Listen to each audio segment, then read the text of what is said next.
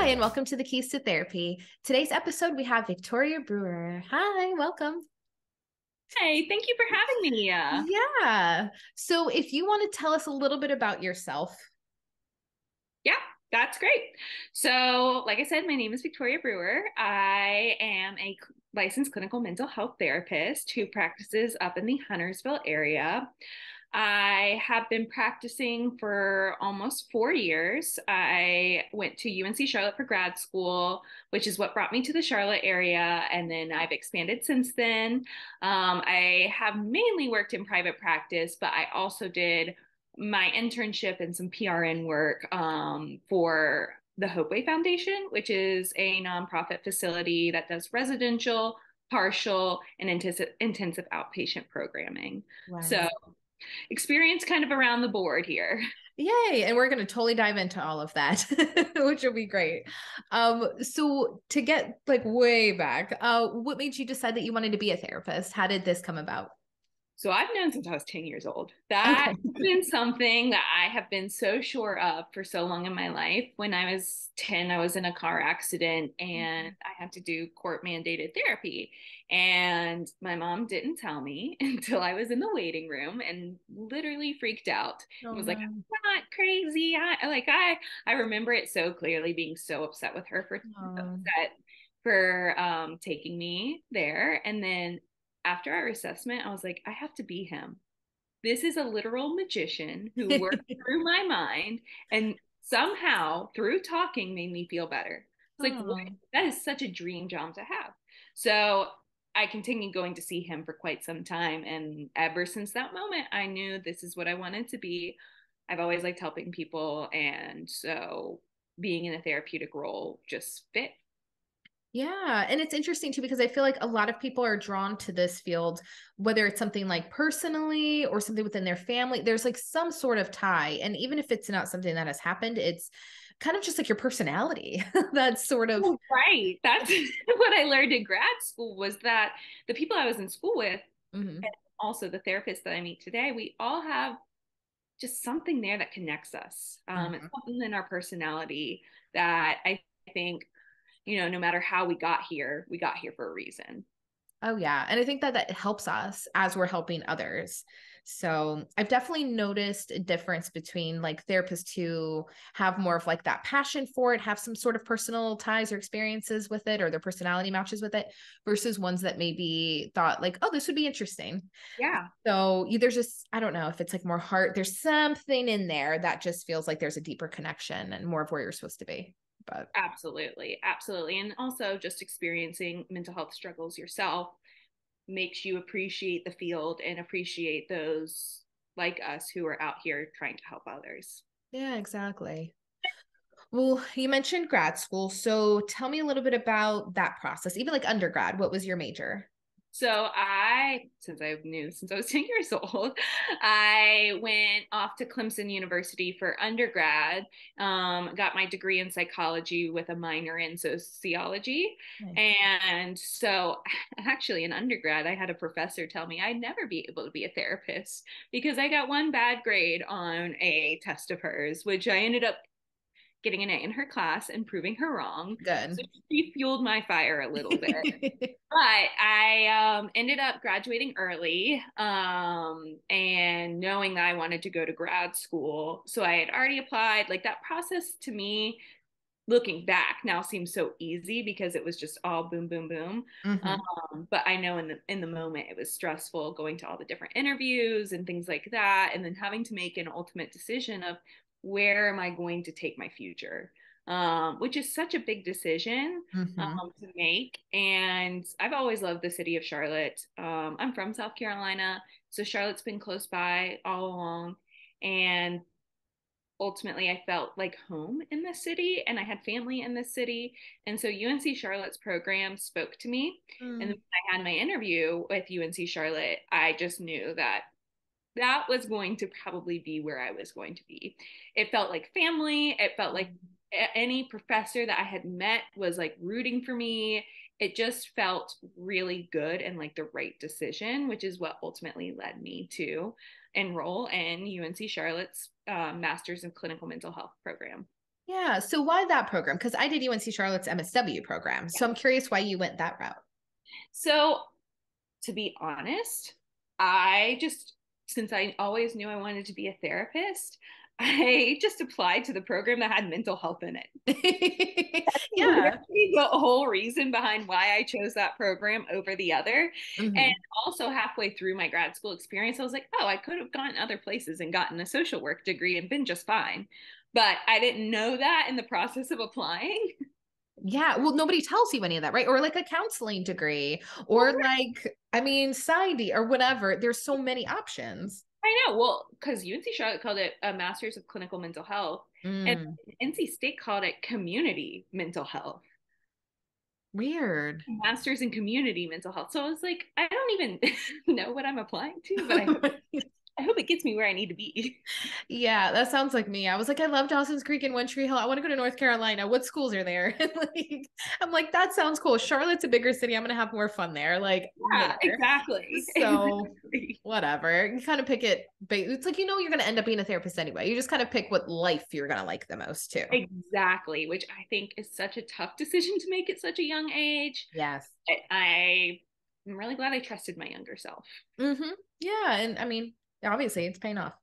so we'll keep working that way. So now grad school, again, everybody's programs are so different. They're structured mm-hmm. different. Um, I know some people I've spoken to, they've had like all their coursework the first year and the second year's been all internship. Mine mm-hmm. was kind of split, like half the week was internship, half was classes. So what was your program structured like? So my program was really interesting because it was highly flexible. You could do your the program anywhere between like two years and six years. Oh, and wow. so a lot of people had their own choice in how fast they wanted to work through the program.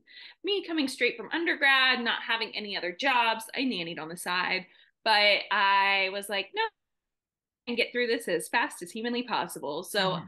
and also coming from 15 hours of classes a semester already, four classes a week was basically this this each semester I had. I'd have four classes a week my first semester. Then my mm-hmm. second semester I had four classes a week and then 10 hours of practicum. Uh, um, where I worked um, with veterans that I decided to go take my practicum at CPCC in the veterans unit and work with veterans in in school. And then the next year of programming was I would take four classes in the evenings and 20 hours of internship for that entire year. And that's when I graduated. Okay, nice. So it was jam packed, a jam packed two years. And yeah. so because the program is somewhat small, it, even though you don't have a cohort, you pretty much know after your first semester most of the people in your classes, mm-hmm. and then mm-hmm. it's just like meeting a couple of people who are in different places in their program in the program. Yeah, that's interesting. That's so different because I know like the social work one was sort of like you could do it in two years or three years. Mm-hmm. And some other people actually did it in like a year and a half. If they had a bachelor's in social work, they could just kind of jump into oh. like summer and then like my second year. And so, yeah, there was a lot of people in different stages, but for the most part, we had a cohort and that had its pros and cons, right? Like yeah. if there was people you really connected with, that was amazing. If there was ones that you really didn't, or there was just like very different focuses, then it yeah. felt like more separated. So, I mean, it, it might be nice because you were exposed to a lot of different people at different stages. Oh, yeah, it was wonderful. And even in my last semester, I took a diagnosis class that I didn't really need until the like that all I needed that for was the NCE. And so um when I took that class, I was with all people starting the program for the first semester. Oh, interesting. So it was really great because I was in my second semester of internship working with borderline, bipolar, schizophrenia, like all of the acute mental illnesses. And I was able to help provide a lot of like personal experience within that class. And then, like, a, lot, a lot of those classmates were like, this is so fascinating. Mm-hmm. I'm interested in doing this as well. Um, oh yeah, I'd want to be partnered with you on the projects and stuff. So I'd be like, she knows what she's doing. She's doing it right now. I'm just reading about it. Let me get with her. so. yeah yeah. That's great. yeah. And also like it still did feel like a cohort. Mm. I would the best part of the whole program was my group therapy class where our group therapy mm. professor had us do an experiential group as a class. So we got split up into two groups with an actual group therapist Wow. And there, I think, were 10 women in my group. And I cannot thank the program enough for bringing me that group and those 10 women and a place to have free therapy essentially seriously um so i just always thought that that was such a cool part of the program yeah, it's amazing. And then you get that support because I'm sure you guys then got so much closer because now you really know each other, but you're get you get the client experience yes. as well. So it's like multifaceted benefits. Oh yeah, cuz like learning about group therapy as a group therapy participant is such a cool way to learn. Oh yeah, that's really good. Instead of just being thrown into it. Yeah, like in exactly. an internship or something, you get that experience too. Right. Right was there anything that maybe wasn't as helpful in your program or something maybe looking back you wish that they had the one thing i would say is more education about private practice mm-hmm. and what happens post graduation that like we spent a couple classes talking about some things mm-hmm. when you graduate you are just thrown out into the wolves with licensure and with finding a supervisor and finding a job and it is I that was a struggle for me. Yeah, and that brings me to my next question too about kind of what did you do right after graduation? And side note, almost every person I've spoken to has said that they wish that we'd had more of like a business component or something involved in under I mean in our graduate programs to help like let us see what else is out there versus just the one path of like community mental health or a hospital or right. whatever else. Well, and I had always had the dream of having my own practice. So mm-hmm. even with the mindset of like, hey, this is what I'm going to do, and I would ask questions based off of that, I still didn't feel like I quite got the education I needed. Mm-hmm. And so, yeah, I totally agree with everyone else in that schools could add that component and an elective course. You know, exactly. not everyone wants to take it. Mm-hmm. Yeah, I think that would be really helpful. Mm-hmm. Um, well you mentioned like after graduation is such a tough period and i think it is for everybody even those last few months of it when you're panicked about am i going to get a job? Who's going to mm-hmm. hire me? You know all that anxiety. So yeah. i thankfully was very young at the time. I graduated grad school when i was 24 so i had like a summer vacation for my license.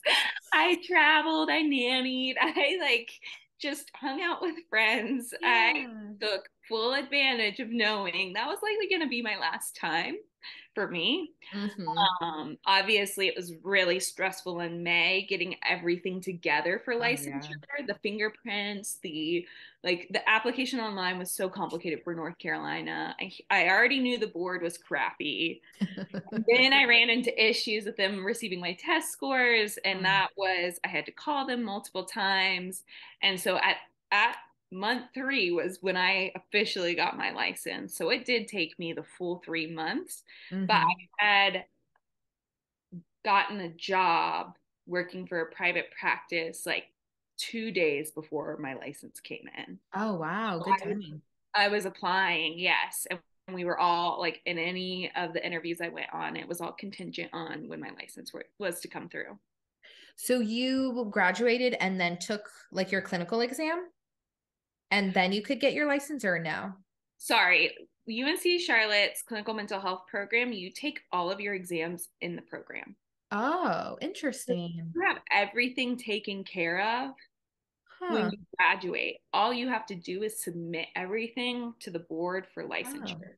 And oh. then you get your associate's licensure, mm-hmm. um, where you have to get those 3,000 hours and supervision and all that. And so everything was all taken care of for me. That's nice because social work, they really were like, they had somebody from the board come talk to us in one class and be like, if you want to go this route, here's the application, here's the address to send it. And then we could take our exam anytime in those two years after like we got our associate license mm-hmm. and but it had to be within that two years and if you didn't pass it within that two years all of your hours restarted stressful. Yeah. so, and I've known a few people who ended up just leaving the field because maybe they failed it by like two questions. Wait yeah. a few months, you take it again. And so I love that your program, it sounds like they prepared you a lot more for that yes. process. Well, and something I will say I'm very thankful for um, is that on the last few days, our last few classes, we filled out the information that we had to send off to the board in the class with our professor telling That's us great. what we need to write. Mm-hmm. And he was like, yeah, if you're going to do uppercase, you have to stick with uppercase. They won't accept it. And so he was really great about knowing the little details uh-huh. of application. But still, even with that help, there was uh, still so much more that I was like, I, I don't know. Do I call for transcripts? Do they send my transcript? Mm-hmm. Oh, yeah. And then, like you said, how long the board can take to get back to you, the money that it costs to submit the applications, and sometimes have to pay for the transcripts and all of that. It's a lot in that period. yes, it is. It is. And then it's like, okay, well, now you just have to wait basically three months and then you can start working. Right. So, like you said, at least you found something to do to make that time worth it. But wow. Yes. So, then your first job after school was private practice.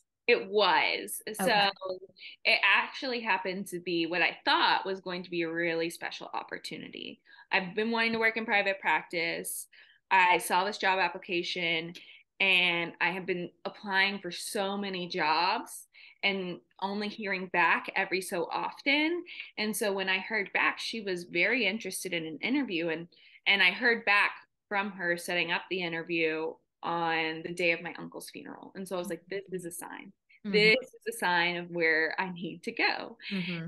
And so I, from the get go, before I even went and interviewed, felt a connection to this practice, which I think influenced a lot of my um, behavior and loyalty to the practice. Mm-hmm. Um, so I went and interviewed and that was interesting because they had me do a personality test which i had never oh. done that for a job before. Um, turns out she had me do that just to see if my personality would fit with the others in the office. Okay. It was an interesting move but mm-hmm. all the other therapists in the practice were a part of the interview. It was all young women 30 and under and um, two of them had gone to unc charlotte same program um, and they all seemed super sweet. They guaranteed me 20 to 25 clients a week. And um, I felt really good about it from that interview. And they told me when I walked in, you have the job. We just want to tell you about it mm. to hmm. make sure it's going to be a good fit. Mm-hmm. Yeah. So tell me a little bit about, because um, I know it can be kind of controversial for therapists. They have like very strong opinions some of them about like you can't go to private practice after you graduate. You have to pay your dues. And other people are like why burn myself out in one area when i know i'm going to end up in the private practice arena anyway? So i don't know if you came up against any of that or if you could just speak on like your experiences being a new clinician in private practice.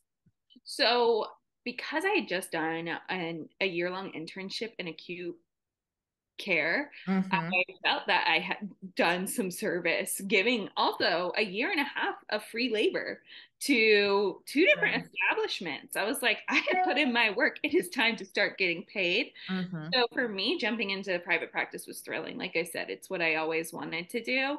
And to kind of mediate there, I I would take on pro bono clients and I would try to make sure I was serving someone who needed the extra help but maybe couldn't afford it or was oppressed in some way shape or form.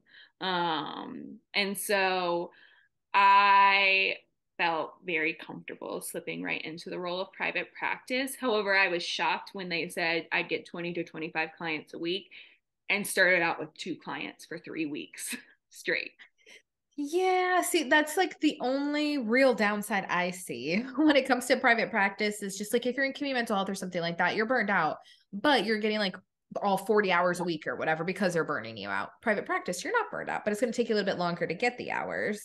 Right. But I think it's, yeah, it's tough then because I think sometimes, and I know from personal experience, um, you get sold on like what a group practice is going to be and then uh, yeah or any job honestly mm. but then it's not always that way so right because i think i would have been shocked in community mental health as well yes. i think had i gone to an agency and they were like yeah you're going to see about seven clients a day and you're going to get about $30 per client i think I would throw up. Yeah, I think I almost did a couple of times in my two years. Yeah.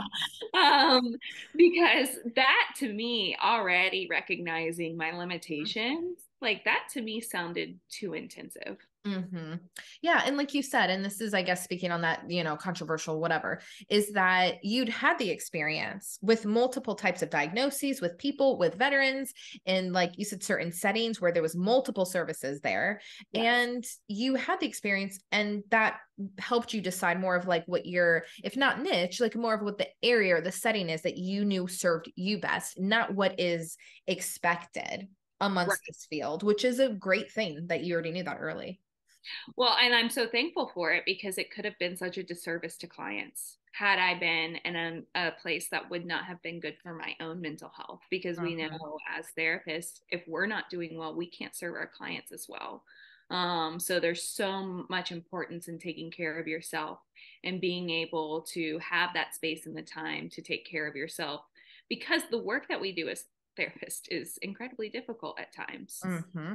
Yeah. And you're right too, because a lot of those places tend to have higher turnover. So because people are burned out, but then that means that a client may have three different therapists in a year.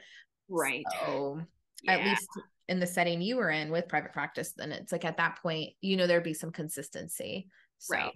And then a year, I mean, not a year into it, six six months into it, I was like, I miss working in like residential partial. So I did end up adding on a PRN position back at Hopeway mm. where I interned to get, I love group therapy. Mm-hmm. Um, I know that's controversial, but I loved group therapy. So it was nice to be able to fulfill that need a bit and also work back in the community on top of private practice in an as needed position.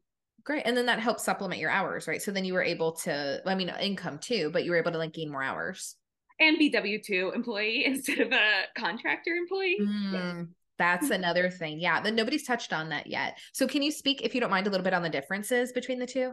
Yes. So, this is something that also was very shocking to me as a new therapist.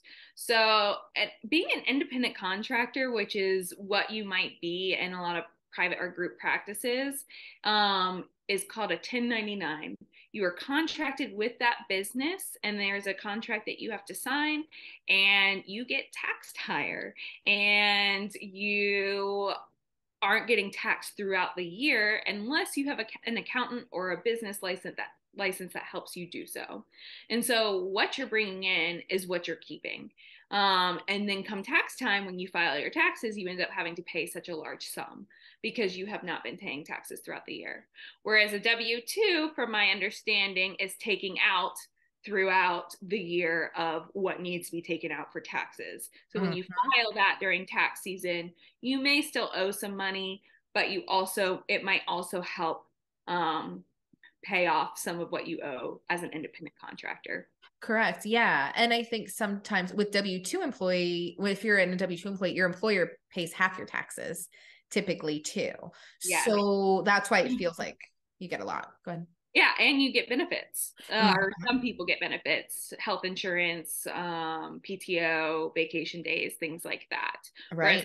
independent contractor, if you're not working, you're not making money. If you are, are over the age of 26, you have to get your own health insurance plan and that can be very expensive but they're mm-hmm. tax deductions which is what you do as an independent contractor is the things that you have to pay for your business like rent eh, health insurance um, car payments things like that that can be deducted from your taxes yeah, which is something that was never talked about in school. no, exactly. Exactly. And you also have to make sure the right person is telling you what to deduct because if you listen to someone who might not know what they're talking about, you could get yourself into some legal trouble. Mm-hmm. Yeah, and everyone's terrified of the IRS. Mm-hmm. so, yeah, definitely get like the right people behind you helping right. with all that. So yeah, so for you then being a 1099 like and then having the caseload build slower, it mm-hmm. was like the right setting, but maybe not necessarily at that point like feasible for you whether it was income wise or even just like some of the challenges or the faster pace stuff that you missed. So yeah, yeah. both. So how did that progress like as you worked towards your hours and overtime? So the reason why I only had two clients for the first three weeks is because my practice owner and one of the other therapists in the practice both left for two week vacations to Europe a week after I mm-hmm. started. So I was I had the two people that were already set up for me and then I wasn't really as much in control about who else was coming in. There was only one other therapist in the office. And so for me it was show up for my two clients and then go home because there's nothing else I can do at this point. Mm. Once they came back, I was able to finally tack on some more clients and slowly started building until October when I started to kind of have a more comfortable foundation okay. of clients. Um, but I also still nannied throughout working the whole time um, for that first like four months because I had so much extra free time. So mm. if I if if anyone is wanting to go right into private practice, can't guarantee you clients right off the bat, then it would be very important to have a passive income or some other job on the side lined up in order to afford to live. Yeah. And again, something else that was not covered in school because I know plenty of people that worked at their job, even if they were working full time in community mental health, like the pay was so low for some people that it wasn't enough, depending on like where they were at in life, if they their rent was expensive, they had kids, whatever the situation was, that they found themselves like working at grocery stores, working at, you know, restaurants, like still doing some of the jobs they did in undergrad, but with a master's, just because the pay can be low in the beginning.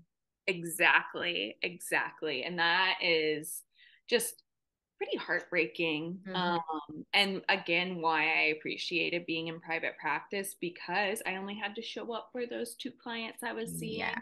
And so I did have so much more free time to be like, yeah, I can nanny eight hours for you tomorrow. I don't have anything else to do. Mm-hmm. So I was actually making more money from nannying first four months than uh, anything else. But mm-hmm. um, once I hit January of 2020, so that was um, coming off of Christmas, my caseload eventually came to a really good foundation. Yeah. So just setting that realistic expectation for yourself that if you're starting out in private practice, you know, it takes in, in any setting, whether it's licensed or pre-licensed, not licensed, whatever it's going to be, that it takes that that bit to build up. So just setting that expectation. Right, exactly. And understanding what you might be getting into beforehand, despite maybe not being taught this in grad school. Mm-hmm. Yes. So you might have to take some of those jobs or side hustles for the time being until your other stuff builds up. But right. which is why everyone should be so thankful for this channel so that they can learn about these things. Yeah, prepare themselves because we didn't know, guys. We didn't know. we didn't have this when we were graduating. No, we just lived it, and now we're trying to pay it forward so you guys don't have to live it. But um, well, tell me a little bit more about, uh, I guess, your experiences with private practice. So, like, were you able to set your own hours how were you feeling about like the clients you were getting did you have some say over that? I had pretty much full autonomy. Nice. Um, so that was amazing. I was allowed to set my hours. I was allowed to set my private pay if someone did not have insurance. So I could pick and choose whatever rate I wanted. I was able, no, I was not able to change the no show fee.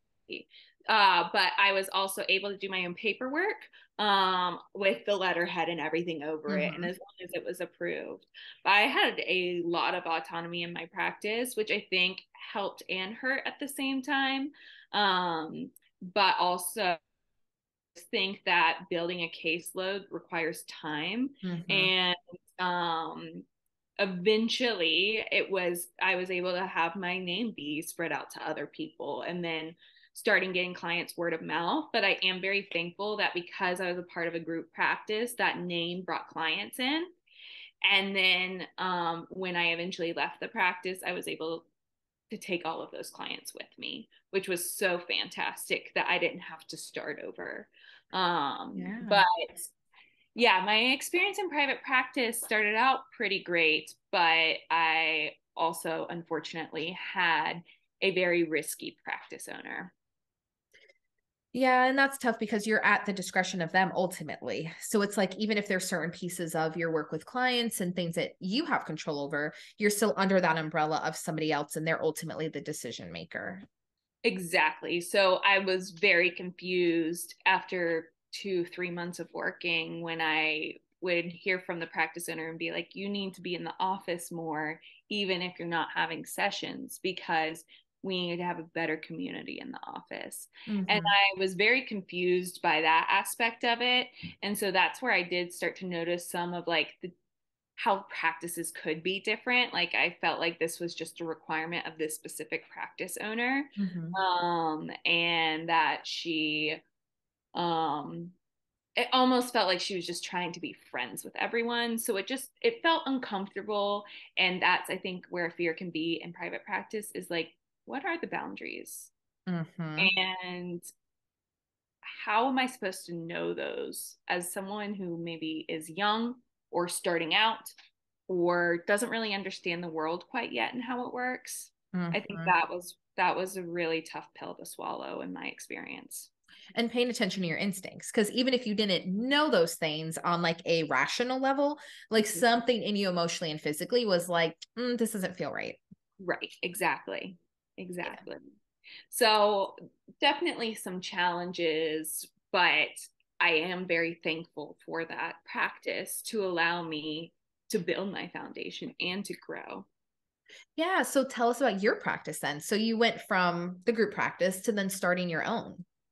Yes. So do you mind if I share a little bit about my experience of why I had yes practice and go into my private let practice. us know the red flags let us know the Great. things that you know we should be looking out for yes mm-hmm. please do so starting with the practice owner requiring clinicians to stay mm-hmm at the office, which to me was 30 minutes away from my home, mm. just because she wanted to hang out. And it wasn't, at first, it was like, okay, we're consulting cases. I see the benefits of this. But then it very quickly turned into triangulation and gossiping and a lot of sticky dynamics there was a lot of manipulation going on mm. um, that I was unaware of because I was just so young and so ignorant into the working world that I was like, if if a practice owner is saying this is how it has to be, then it has to be that way. Right. I was told that um, I was told that I was not allowed to touch anything with billing right off the bat. And so I thought that was a little uncomfortable because that was something I wanted to learn as I wanted to be my own practice owner one day. Mm-hmm. And I was also not allowed to contract with any other insurances. And um, there were a few other rules that she had in place that were just strict and a little uncomfortable, but nothing worth concern until the pandemic started. And when the pandemic started, was when the boundaries really started to fall. Mm. She required all of our locations. She would not pay a clinician if the if the clinician's location on find my friends on your iPhone. So nothing even business related. Your personal phone. Yes, personal phone. Find my friends. If your location was not turned on and in Charlotte or Huntersville, then you were not getting paid, which is illegal. Yeah. Um, so that was the first terrifying thing. Mm-hmm. Being told we could not travel, being told we could not go anywhere, we couldn't see our families, we couldn't do telehealth, we couldn't do assessments via telehealth. And then all of a sudden we could do assessments via telehealth. And then the triangulation started getting really, really bad. It would be, oh, this person voted for Trump in 2016. So we need to boycott this clinician. Mm. Like really immature thinking. And at this point, I felt very desperate, but also so new to the field that I felt like I couldn't escape. Right. And, and there's so, a power dynamic there because of, in like multiple aspects between being younger, being new. This is your first like real job outside of school. Like, you know, mm-hmm. or this is the place you're trying to build a career and learn all of these things to have your dream job. And you're being like, it feels like high school, actually. Right. So two of the clinicians did leave. They wow. left. And so once that happened, happened? Well, all the location sharing stopped. Mm. And then it mm. got quiet and it got better for a while until the triangulation came back. Because now it was me, one clinician, and the practice owner. And I was angelicized and my uh, the other clinician my good friend was demonized and it was blatantly obvious she mm. had four clients on her caseload i had 18 clients on my caseload at the time it was not fair and it was not appropriate to the one and it all started breaking down when our supervisor realized she had never gotten us NPI numbers. And this is where the struggle with grad school really comes in. Mm-hmm. In grad school, I remember them talking about an NPI number, but no one ever said, this is what you need, this is what you have to do. This is just part of being a therapist is an NPI number. Mm-hmm. I thought you just automatically get one when you get licensed. So when we confronted our supervisor was like, you don't have NPI numbers, that's not okay. Your so outside we, supervisor. Yes. Mm-hmm. Yes. Did not work for the practice. Mm-hmm. When she got whiff of that, she was like, You need to confront your practice owner. My practice owner forged documents that made it seem like I had an NPI number and a CAQH profile. She factored those doc. I mean, she al- altered Doctor, those documents. Mm-hmm. Yeah, wow.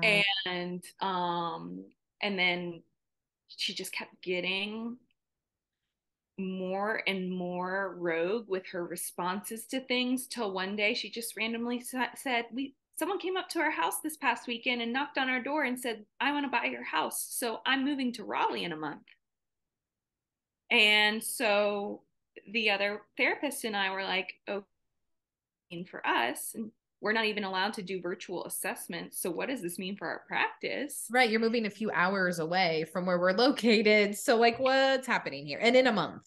So then, then that's when she decided, okay, we're going to do virtual assessments from now on. Cause I've decided it's okay now. It's all right. I've like blessed it. Not that it was okay the entire um, time. Right. But I will not use simple practice because I think that's too expensive. But I won't give you any other tools to do telehealth. And um so then she was like, okay, you guys can find an office and practice out of there, and I will give you 90% of what to pay for the office. And I'll keep that 10% for doing your filling. We're like, this sounds great. This sounds mm-hmm. fun. You're out of our lives. We get our autonomy. We have the group practice name. We're yeah. good. Until she decides to come up with a new contract that does not say that. She tried to manipulate us into signing a contract contract that would not have allowed her to pay us what we needed to afford an office and had been moving to Raleigh. So on that day, we decided we are resigning. And that's when she started withholding pay. And on that day was when I opened my practice. Whew, there's a lot there. she would log us out of our stuff and went restricted our access to clients. So thankfully, as we knew she was escalating, mm-hmm we were gathering verbal and written um, documents allowing our clients to follow us lots and lots and lots of red flags and problems with that whole situation. So I'm like, oh God, where to start? Um, so one thing is again, going back to like following your instincts, there was a lot of stuff that you were like, this is not working. You also were able to coordinate with some other people to kind of see if there's like like validating your experiences and seeing is this a shared experience? Because sometimes you need to know like, am I the only one seeing this? Especially when you're first starting out, because it feels crazy. Um the yes. other part of that. Oh, go ahead. Go ahead. I was just about to say to that is that when the other therapist left over mm-hmm. the summer, they then let us know some of the previous behaviors and actions that the practice owner had been doing over the years that indicated exactly what I had been thinking and that she was hiring new clinicians because she could take advantage of them mm-hmm. and firing for no reason. yeah. And that then again validates like, okay, this is not just me or this one person. It's literally everybody here, which then is the, what's the common denominator? It's the owner. So um, another point you hit on, I think that was that's really worth diving into a little bit is the NPI number and CAQH. Never heard those words at all until my first job. Wow. Yeah, not at all. CAQH until um, a year into my first job. Oh my gosh. Yeah, I started community mental health and I as they were setting me up in their system, I got a piece of paper that was like, "Hey, I created a login and I created a password for you and here's your number." Thank God they gave it to me, but like I wasn't a part of that process. They like pretended to be me because they had my entire hiring packet with my social security, like all of the things that you would need. So luckily it was like a very ethical, nice person, but I also had no idea what an NPI number was. So for the baby therapists out here, like it's a national provider identification number that any type of provider in medical anything has to have. Yeah, and it follows you. Providers, yes. Mm-hmm. And don't put your personal information out there on your NPI number because it is public record. exactly. So you're going to have it registered to whatever place you're at first. So that way people can't just Google you. Um, but you want to make sure that you have, you yourself have the login information because that became a problem for me as I switched jobs was like, well, they created this password and stuff and they gave me the email, but I don't even have that access to email because it was my work email. So yeah, that's a big piece. And then CAQH is for um insurances, right? So you put like all your information in a database and then these insurance companies can pull where you work, your NPI numbers, license numbers, all of that. So if you guys didn't have those, you were working without the proper identification to even be able to bill some of these things or whatever else. So this fraud somewhere in there that was happening multiple types of fraud. That was just one of the committed insurance fraud as well, which is a part of the NPI and CAQH, which is billing everyone under herself for certain insurances mm-hmm. rather than us having our own individual profiles within the group. Because with an NPI and a CAQH, you like you said, it can be within the group. All she had to do was help us create that. Mm-hmm. But what would have changed is that I would not have been accepting Blue Cross Blue Shield, Cigna, Aetna clients within weeks of getting my license. Mm-hmm. Wow. I didn't know that in the moment because mm-hmm. how would you know? Exactly. Again, that's all stuff that's not covered. So you're expecting that you're going to go to this place, especially because the way you were sold on it was that it mm-hmm. was amazing. There's all these people, everybody's younger, everyone's in a similar stage of their career. everyone's going to encourage each other, you're going to get all these hours. And then it wasn't that way at all. And I think a lot of people have similar experiences, yes. especially in group practices. So That because it's so complicated. Mm-hmm. And because as a new clinician, you just don't know what you could be missing. Exactly. You don't know what to look for. And the people that are going to prey on you are going to look for the people who don't know what, what the red flags are to look for what questions yeah. to ask. So when she said I like hiring new grads from UNC Charlotte, was she saying that because she likes the because she knows that we are not receiving education about NPIs or CAQH numbers. Mm-hmm. Right. So you're easier targets. Yeah. Yeah. That that yeah, that thought still messes with me today because mm-hmm. it's just thinking about it is very complicated and complex of how much I was taken advantage of as a new clinician. Right. And if you hadn't had that outside supervisor, which I think is another really good point that I want to like hear a little bit more about because I've known people in a similar situation who were getting too their group owner was wearing too many hats or the place they were working at was wearing too yeah. many hats and yeah. it burns them because yeah. there's so much boundary crossing everywhere. The person who pays you probably should be the same one who's like grading you as far as your license goes. There's too many things. So tell me a little bit about like that relationship, like paying for supervision and what that helped you with. So I actually will share a little funny side note before I get into that. Yeah. One of the clinicians at the practice had their original supervisor was actually a professor from my program. Oh, wow. I never knew why they stopped working together, but then she ended up working with Angela, who, and Angela, if you're watching this, I love you so much. You were the best thing that ever happened to me. But because the clinician had Angela as her supervisor, I ended up adopting Angela when I came on too.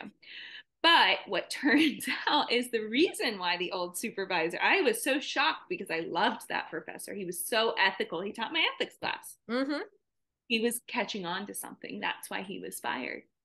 Ah. the practice owner made the other therapist say, I can't see you anymore. I have to find a new therapist because what you're telling me isn't correct. Mm-mm. Found that out after the fact. But, anyways, it led us into the hands of Angela. And so, having an outside supervisor, thankfully, I got really lucky in the fact that there was another associate clinician within the practice who already had Angela as a supervisor. So she asked Angela for me, like, hey, would you mind taking on a new supervisee? Mm-hmm. And so, um, and then we could do group supervision too. True. So that's how it all started. Angela came and we had like a little interview um, right off the bat, and we agreed that we would be a good fit together and that I was really looking forward to working with her. And so, right off the bat, I started working with Angela, and she's super ethical. She has her own um, business, Southern Family Medicine, like working in addiction. So she and had been in the field for forever. So she had a lot of great insight and was extremely resourceful throughout my whole prep. I mean, my whole time in supervision. That's awesome.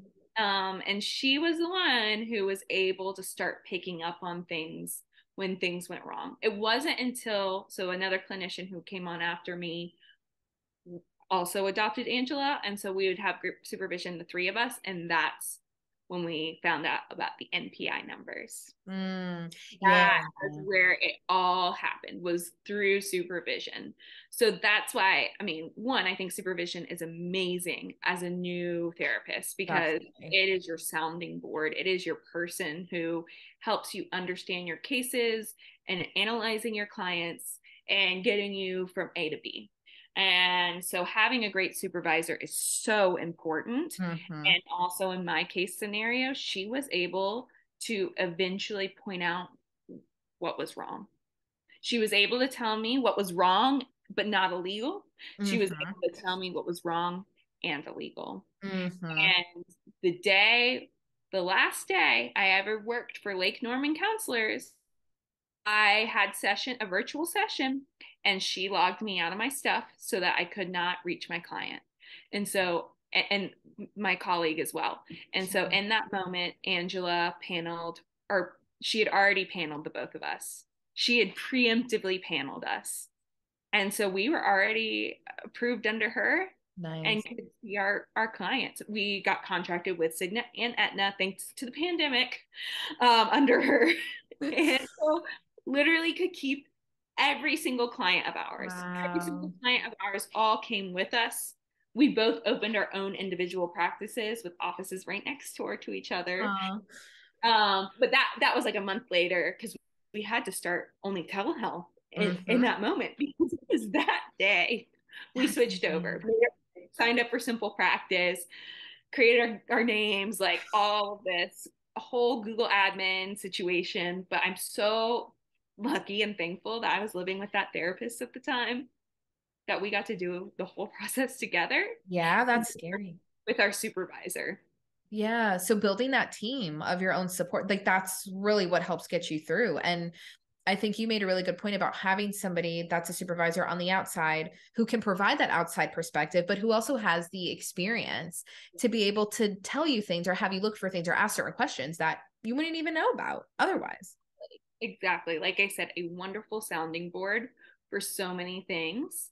And I would say, what did I, she, she only charged me $60 for supervision. So for me, the cost was not too expensive. Mm-hmm. God, and it ended up being completely worth it. So again, that's home. Best money I've ever spent. and also, her husband happens to be a billing specialist, so they took us on as our that's our billing specialist. Perfect. But see, that's a case where there's clearer boundaries, right? This is your role. This is your role. And she was like, do your own thing.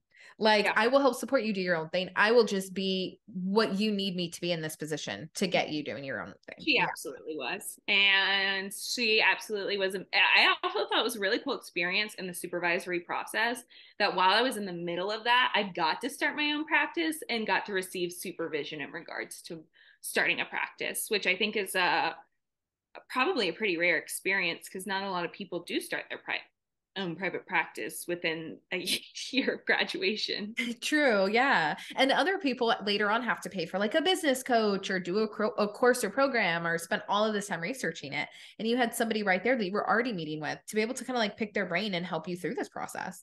Right. Because to me, since it was not talked about in grad school, mm-hmm. I was like, opening a private practice requires a business license, a business plan, this, that, and the other. And in a moment of crisis, it required none of that. Because mm-hmm. all you need is your last name. That's all you need. True. yeah. Started. And and an NPI number and a CAQH profile. you know? Yeah. But it's like once you know that stuff, then you're like, okay, I'm good to go. And then you have the support of somebody being like, let me help you get all like those ins and outs of it because you already know how to do the therapy side of things. Yeah. You already the clients, which and that's its own thing with like her being petty, you know, like the owner being petty and taking it on you guys, not even considering what that would do for the clients. Oh, it was awful. She emailed our clients behind our back trying to say we were slandering her, which we never had. We never mentioned one thing about the practice owner. We just said, the practice no longer aligns with our goals as a therapist. It was going fully virtual, and I want to be in person. That's all we told our clients. Mm-hmm.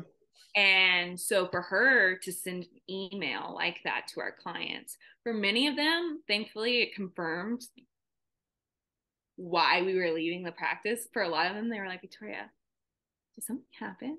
Like on like what's the tea? What's the drama? Like that'd be me as a client. Like i need to know. And i'm like i just i just wanted an office in person and kind of wanted to do my own thing. And so like they were very confused. Mm-hmm. and then some of my clients had relation like relationships with some of her clients and then would tell me some things. And so oh god. it just i just it was confirmed that i was doing absolutely the best thing possible right. um, through that experience. And my clients were very grateful to walk away from that practice as well because she was not nice to clients. She mm. sent the mm. snarkiest emails to clients. Um, and that's that did not align with me. And i knew when i opened my own practice eventually i was going to have a different approach. Yeah. And that's something else that i think is good to touch on is where you're working directly reflects on you.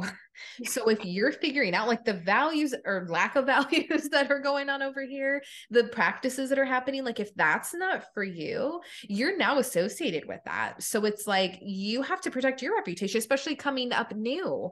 Like you've got to protect your reputation and also yourself. Like this wasn't aligning with you professionally or personally. No. And I will say, three of my clients, she overcharged them for their therapy session. She didn't um. bill correctly. And so she had clients overpaying by like 70 80 dollars per session for their sessions when they when I switched over and went with a billing specialist their copays were $10 so I had three clients who lost a lot of money because of her that's so bad and so they were deeply upset and of course i was working with them through that of like mm-hmm. I, I, understand like this is an awful situation where you've been taken advantage of while at this at the same time i i was in that as boat as well she right. wasn't anymore she's well, the moment we resigned she stopped paying yeah so it doesn't matter what sessions were pending that you were supposed to be paid for or what else it was just done yeah the other clinician was owed like probably upwards of three thousand something dollars. Thankfully, mine was under six hundred um because we had been pretty settled up and I take time off for Christmas. So like I didn't have a lot of sessions on the books thankfully. Yeah. Um, but she ended up having to pay taxes and getting a uh, 1099 from the practice owner a year later after going through all of this. Because eventually after threatening her with lawyers and a cease and desist we were able to get paid Jeez, it, wasn't accurate payment that we were owed though. But like why all the headache? Like that's so many things that you're like, well, I didn't think I'd have to learn any of this stuff, but here we go. Like now you're learning about legal stuff. And it's interesting too that you'd asked in the beginning about the billing and you weren't privy to any of that. Now it makes sense why.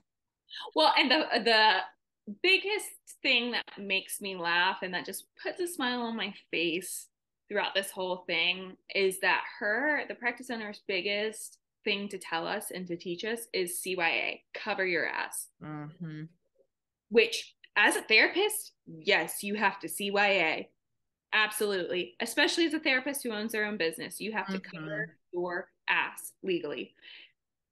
she forgot to remake our contracts. Um, so we were not contractually obligated to her. So she did not CYA, which is why we were able to not be bulldozed in the end and receive our payments is because we actually covered our ass. We took that lesson. we used it. Oh, karma. like, that's great though, because you guys deserve to be paid. It was the work that you did. And yeah, geez, it's just unfortunate that so much of your group practice experience was what not to do as a business owner versus what to do. Sure, absolutely. Um, and also at the same time, like I I do really miss that aspect of hanging out with other clinicians all the mm-hmm. time. Just having a common space where we're walking into someone's office. I still do have that at my practice now, but it with it being a group practice, I don't know, there was just more of a community.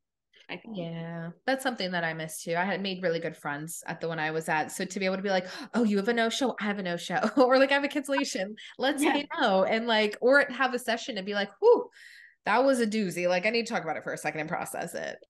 Erin, the therapist who has the office next to me, I walked into the office yesterday. I, I, her, our calendars, I can see when she's busy and not busy. Yeah. So she was in back to back sessions. I see her door crack and I come in. I'm like, yes, you have a show. We can.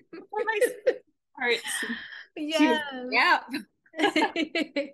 yeah, that's so awesome though, because we need that sense of community. So, is there any like advice you would have for clinicians in that period of time like who maybe have left a group practice or doing a solo one about like creating community because like what have you done to create that so you have an office next to a friend huge yes yes huge but thankfully the office so the office space that we ended up at we went and viewed because one of the previous clinicians who left the practice that we really loved the play therapist had her office there. So we were like, oh, let's go check it out. Mm-hmm.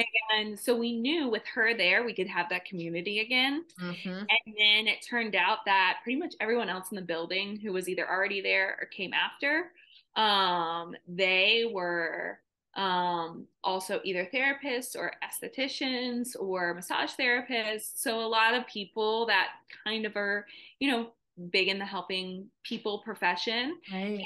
And so it is a lot of pushing yourself to walk out of your office when you have a no show or a break and seeing whose doors are open or mm-hmm. seeing someone's in the break room. I think having a break room is also a really big thing. Like mm-hmm. if you're mm-hmm. opening up a practice, maybe do it in a communal building um, where you know there's going to be a break room or community space where you can get mm-hmm. together with one another and also at the same time um, you can and i know a therapist is currently doing this in my office is renting out your office mm-hmm. and so i rent my office out on thursdays and fridays and so that brings a whole nother therapist into the mix and even though i'm not socializing with that therapist i know that that therapist has the ability to connect and make a community with the people in my office who I know are amazing. And she's just starting out her practice. So she's only mm-hmm. working with her own practice two days a week. Mm-hmm. So, you know, I think there are a lot of ways that you can kind of like hack your way into a good scenario. Um, and one of those could be renting, sharing an office with someone, or it could be just going to um, an office building where a lot of other therapists have offices um, sticking close by to therapists. And if not that, then joining Facebook groups, going to networking events, things like that, in order to continue to create and grow your community and your network. Oh, absolutely. Yeah. I mean, that's how we met was yeah. a group for yeah. therapists. So, I mean, worked out for us. so, but yeah, I think that that's great because I that's something that I think is like the number one complaint for people who are going into private practice is like it's kind of lonely. So it's kind of the only one I've really heard is that people saying like yeah it's sort of lonely. I love being able to do all these things on my own and have the control and you know pursue my passion but that's the piece of it. So creating that community for sure. Um, absolutely. um, exactly. can you tell us a little bit about your practice now? Like what that looks like who you're seeing Sure. So I work with clients ages like 14 years old and up. Um, there's no cap on the age either. Mm-hmm. So um, all adults of any age. Um, I work best with anxiety. Anxiety is my my groove. That's something that I I know very well. I understand the emotional regulation that needs to take place in terms of anxiety, but I also work heavily with depression, um, self esteem issues, um, uh, relationship issues, transitions in life, just, you know, a very like general private practice. I do work heavily with the LGBTQ community mm-hmm. um, and do work with a lot of transgender clients. So that's awesome. a population I really love working with. Um, but and also women is a great population to work with. But I also love my men too. So yeah. like honestly, I just love most all clients, except for I cannot work with eating disorders, unfortunately. Uh-huh. That's just something that you need so much education in, and True. I don't have that education. Um, and trauma is can be hit or miss for me as well. Like I um I feel comfortable with referring out to EMDR. Yeah. Um, but also working with, you know, other problems on top of a client going to EMDR. I'm like like I said, I'm located up in Huntersville off of exit 25, like right behind the Target. So it's really fun. I tell my clients, yeah, after therapy, you can either go to Target and treat yourself or you can go to Chick-fil-A and get a milkshake. Either way, because Target's right there and Chick-fil-A is right there. My office is right here. Oh my god, I'd just be circling. I'm getting some stuff at Target, hit up Chick Fil A on the way home. And Crumbl cookie before you go home because oh. that's also right there by my office, and a Marshall's Home Goods. So it's like what? yes. I could take like a field trip out there and just be there all day. Some of my clients who travel up from Charlotte are like, the Target up there is the best. So I come like 30 minutes early and I just the aisles. I'm like, I'm so glad that you make a trip out of this. So smart. So yeah, I'm located out there. I work typically hours from like 11 to 6, mm-hmm. um, 6.30. I accept people in person via telehealth. Um, I currently do have a full caseload, so I'm nice. not accepting new clients at this moment, but I know come May, I will mm-hmm. definitely have some availability. Yeah, it's the summer. Everybody's uh, out doing stuff, feeling better. Yeah, everyone, yeah, everyone's happy. right. Well, you mentioned EMDR earlier, like referring people out for that. Was there any trainings, any courses, any books, podcasts, any resources that you've had that have helped you in your career? Uh, um, there's a lot. So, uh, working for Hopeway, they have packets on healthy relationships, DBT, mm-hmm. DBT, self awareness. It's all stuff I used when I did group therapy for them. And so I bring a lot of that material. I'm a very active counselor. So, like, I like doing worksheets. We're talking about skills. Mm-hmm. Um, and so I bring out a lot of those worksheets from um, from my time there because I saw them work over and over and over again with acute uh-huh. with acute care. So that is probably my number one resource that I use. I did acceptance and commitment training, which I liked, but I'm just such a CBT therapist that like that is my main go-to. But I do want to do um, some more trauma informed trainings. I did t- trauma focused CBT, but mm-hmm. I don't work with children, and I know that mm-hmm. TFC he is really children oriented. True. So I'm kind of looking for ways to expand, but then I'm also on top of everything um, trying to do some side projects as well and expand outside of the clinical based um, part of me. So, um, just kind of exploring all that's out there for us therapists because there's so much to help us grow and to help us learn. Yeah. And then that's great because, like you said, if you're at a certain point in your career where you're like, my practice is stable and, you know, things are finally the way you want and need them to be in your career, you can start reaching out and doing some other things and mixing it up, which will be fun too and challenging. Exactly. Exactly. That's the part I'm trying to figure out right now. but you're absolutely right in that, like, once I reach that level of stability, mm-hmm. which I would say for all you new therapists, for me personally, with everything I've been through, it took me started in August of 2019. I'd probably say August, well, maybe more so January of 2021, February of 2021 was when my practice finally started stabling out. And mm-hmm. I finally, for the first time, really had full caseloads. Obviously, that shifts and that changes as a therapist. True. But um, that was, it really kind of took that time for me to finally have the foundation to be like stable in that of at least 20 clients a week. Yeah, which is a great number too. And my ideal number. Definitely. Yeah. So, and that's true. Like, once it's kind of like with clients, right? Like, once your needs are met, you can start thriving. Like, you're done surviving, like, you can start thriving. And that's how it was for you. Like, you survived that terrible experience. And you ended up thriving in the end. So, exactly.